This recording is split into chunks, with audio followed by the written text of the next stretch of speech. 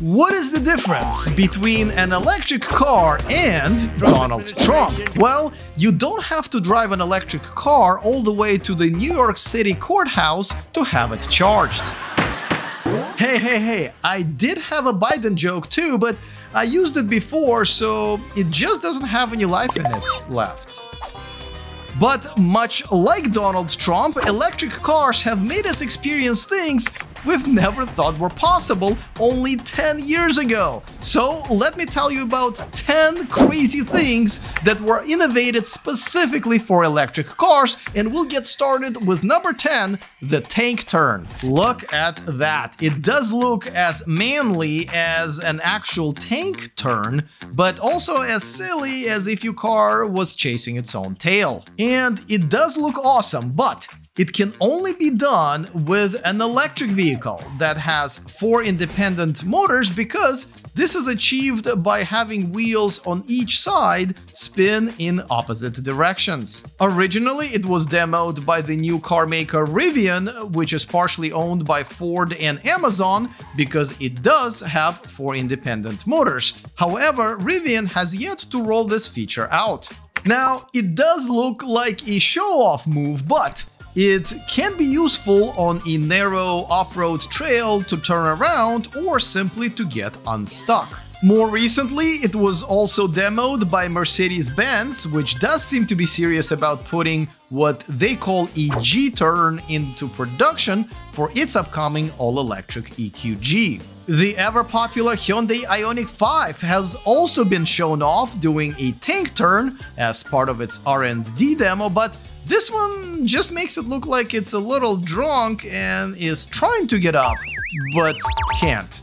Now, Ford as well as Toyota both have patented the move as well, but let's see who gets this to the masses first. Let's talk about another feature from Rivian, whose all-electric Amazon delivery vans you may have already seen in your neighborhood. At number 9, it is a portable camp kitchen stored in what they're calling a gear tunnel, which is essentially a hole that goes through the middle of the truck. Now, you can put pretty much anything in there. The fishing gear, the camping equipment, uh, even bottled tears from investing into Rivian stock, but also you know, the portable camp kitchen. This cool option comes with a 30-piece kitchen set, including a coffee pot, a coffee grinder, and titanium serving plates. There's also a 4-gallon water tank and a pump right next to the sink. This feature has also been put on hold by Rivian, but I'm sure many other third-party versions will pop up sooner or later. At number 8, we've got the bi-directional charging feature. And no, it is not the electric car's experimental stage in college. See, most people think that electric cars are the ones that always need electricity, but this feature allows your electric car to give electricity to other things, including other electric cars and even your house during a blackout. And yes, that was me offering Tesla owners to be charged with the Ford F-150 Lightning. Hey, I did not charge for the electricity, or the shame. At number 7 we have an AI personal assistant which is not that unusual until you meet Nomi. She's actually a physical doll-like fixture on your dashboard. Nomi can actually hear where the voice is coming from and turn her head and look at the person talking to her. She will also watch you type on the screen, dance with you, and even help you take an in-car selfie. She can do all of the obvious commands like start the navigation, open and close windows and the sunroof, and even get started your in-seat massage. Now, you're probably saying, Alex, that's all good, but how can we keep up with the good old American tradition of dressing up anything that moves into ridiculous outfits? Oh, don't you worry, someone has already taken care of that. And look, they even got the pro-choice Nomi and the pro-life Nomi. See, you can make a cute dashboard doll into a divisive political statement.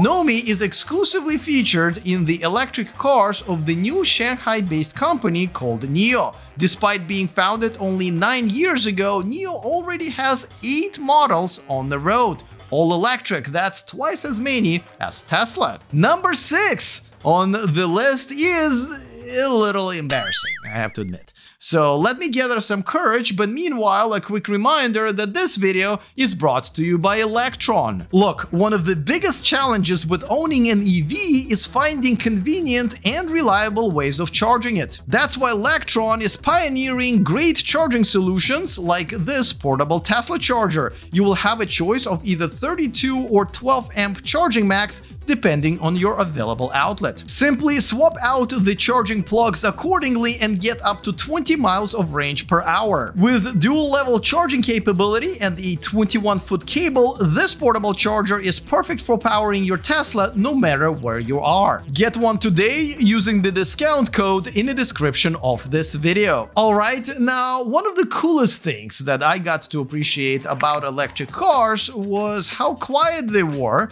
despite being very powerful.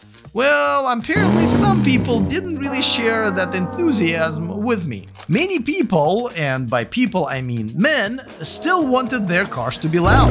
Well, some electric car makers have figured out how to make that ridiculous demand into a new feature that digitally manufactures the engine noise through the speakers. And the Ford Mustang Mach-E was one of the first ones to do it. Now Porsche, and I am not kidding you, actually charges $500 for an electric sports sound package to essentially play the engine noise when accelerating. I can only assume uh, that this was designed to make sure that the electric Porsches do not take away from the full middle life crisis experience their customers have come to expect from the brand. Now, this next feature only shows that some people treat their pets better than their own kids.